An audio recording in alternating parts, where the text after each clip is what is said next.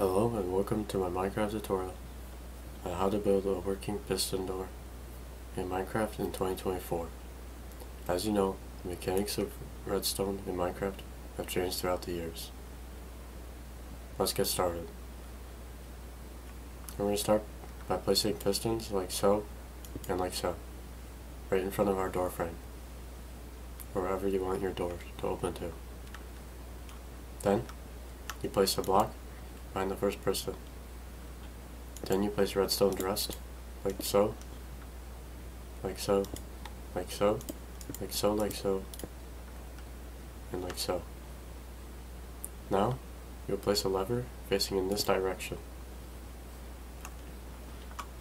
Now when you flip the lever, it closes your door, so no intruders can enter your door. The advantage of this design is you can also see through the door to see if there are intruders at your door. Now to open your door, you simply flick the lever and walk in. And to close your door again, you just flick the lever again. And now, no one is able to get in or out. And to get to open the door again, you simply flick the lever again.